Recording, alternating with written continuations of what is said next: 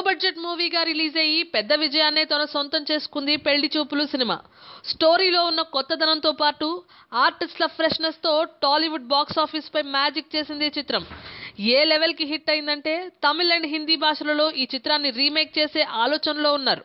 ఇప్పటికే తమిళ్ళో ఈ cinema making మొదలైపోయింది కూడా.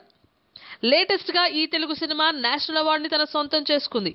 ఈ శుక్రవారం అంటే ఈ ఏప్రిల్ ఏడున అరవై నాలుగవ జాతీయ చలనచిత్ర అవార్డులను కేంద్రం ప్రకటించింది. ఇందులో ఉత్తమ తెలుగు చిత్రం కేటగిరీ కింద పెళ్ళి చూపులు సినిమాను ఎంపిక చేశారు.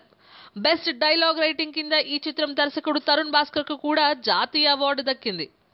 తరుణ్ భాస్కర్ డైరెక్షన్లో రాజ్ కందుకూరి యష్ రంగినేని ప్రొడక్షన్లో విజయ్ దేవరకొండ రితు వర్మ హీరో హీరోయిన్లుగా నటించారు. బెస్ట్ కొరియోగ్రఫీ కేటగిరీలో జనతా గ్యారేజ్ సినిమాకి పనిచేసిన కొరియోగ్రఫర్ రాజు సుందరం కూడా అవార్డు అందుకున్నాడు.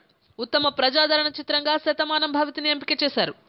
జాతీయ అవార్డ్స్ లిస్ట్లో ఇలా మొదటిసారి మూడు తెలుగు సినిమాలు నిలవడం చాలా ప్రత్యేకంగా ఉందని టాలీవుడ్ సినీ ప్రేమికులు అంటున్నారు.